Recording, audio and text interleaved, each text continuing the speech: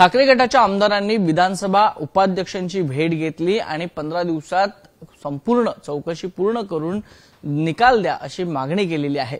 यानंतर आता एकनाथ शिंदे यांनी त्यांची टीम देखील ऍक्शन मोडमध्ये आलेली आहे. कायदेशीर सल्ला घेऊन ठाकरे गटाचे जे आमदार वारंवार दबाव तंत्र तयार करत आहेत त्यांच्यावर काहीतरी ऍक्शन घ्यावी असा एक प्लॅन सुरू आहे. आपल्यासोबत शिवसेनेचे नेते प्रवक्ते आमदार संजयजी शिरसाट आहेत. शिरसाट साहेब ज्या पद्धतीनं काल ठाकरे गटाचे आमदार ऍक्शन मोडमध्ये दिसत आहेत आपण देखील ऍक्शन मोडमध्ये आलेले आहात. कायदेशीर सल्ला आपण घेतात. नेमकी काय माहिती आपल्याकडे? नाही गेले दोन तीन दिवसापासून विधानसभा अध्यक्ष जे लंडन दौऱ्यावर होते त्या संदर्भामध्ये जे काही उलटे उलट स्टेटमेंट उलटे सुलटे जे स्टेटमेंट दिलेले आहेत त्यावर गांभीर्याने आम्ही पाहिलेलं आहे आणि त्याचा अभ्यासही केलेला आहे. सुप्रीम कोर्टाने दिलेला निकाल आणि त्यावर ह्यांनी केलेलं भाष्य. आणि त्यामुळं विधानसभा अध्यक्षावर जो काही दबाव आणण्याचा प्रयत्न करतायत हे हे अत्यंत चुकीचं आहे. विधानसभा अध्यक्ष हा कोणत्या एका पक्षाचा नसतो. त्याची निवड ही जेव्हा सभागृहाने केली त्या टायमाला सर्व पक्षांचा मिळून तो असलेला अध्यक्ष असतो. त्याला पक्षभेद करता येत नाही. आणि तो कायदे मंडळाचा अध्यक्ष आहे. मुळात त्याला ज्युडिशरी पॉवर आहेत. आणि मग अशा वेळेला त्यांच्यावर कॉमेंट्स करणं एखाद्या ज्युडिशरी पॉवरचा अध्यक्षावर जर कॉमेंट्स केल्या तर त्याच्यावर हक्कभंग होऊ शकतो. आणि म्हणून काल आम्ही असं एक डिसिजन घेतलेलं आहे की मी आज नार्वेकरांना जाऊन भेटतोय.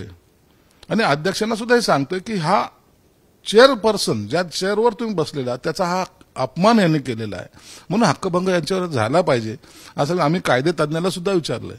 असे मूर्खासारखं स्टेटमेंट करणाऱ्या संजय राऊतला कुठेतरी धडा शिकवला पाहिजे. म्हणून आम्ही आता विधानसभा अध्यक्षाला भेटणार आहोत. त्याचबरोबर थोड्याच वेळापूर्वी त्यांनी एक स्टेटमेंट दिलं की शिंदे सरकार हे दिल्लीतली पायपुसणी झालेलं आहे. म्हणजे या पद्धतीनं आता तुमच्यावर भाष्य केलं जातं. नाही तुम्ही एक पाहिलं असेल आता आम्हाला सांगायची आवश्यकता नाहीये. परंतु तुम्ही पाहिले असेल की हा संजय राऊत हा शरद पवारची पायपुसणी आहे की नाही आहे अख्खा महाराष्ट्राला माहिती आहे. सकाळ संध्याकाळ शरद पवार शरद पवार आणि त्यांच्या घरी जाणं येणं. त्यातल्या त्यात मग तो उद्धव साहेबाला सुद्धा घेऊन जाणं. खऱ्या अर्थानं शरद पवारची पायपुसणी संजय राऊत आहे. आणि आता त्याचे परिणाम त्यांना भोगावे सुद्धा लागत आहेत म्हणून यांनी दुसऱ्यावर टीका करण्यापेक्षा आपल्या अंतर्मनाला झाकून पाहिलं पाहिजे की आपण नेमकं काय करतोय? आपण कुणाची दलाली करतोय? हा हे मूर्खाच्या नंदनोवामध्ये वावरणारा हा वेडा आहे. त्याला वाटतं की मी बोललं हे प्रमाण झालेलं आहे.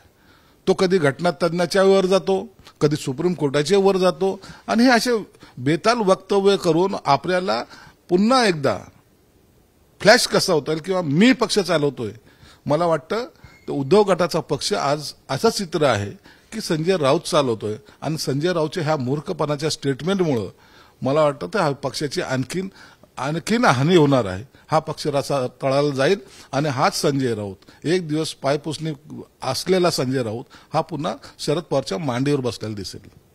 ह्या सगळ्या वक्तव्यांमुळे तुम्हाला असं वाटत नाही तुम्ही म्हणताय की ते शरद पवारांची पायपुसणी ते म्हणताय तुम्ही दिल्लीची पायपुसणी राजकारणातली जी सध्याची जी दोघांमधली रस्सीखेच आहे ती वाढत चाललेली नाही तसं नाही एक लक्षात घ्या. मुख्यमंत्री आहे ना मुख्यमंत्र्याला या महाराष्ट्राच्या विकासासाठी जे काही केंद्राकडून आपल्याला मदत आणता येईल.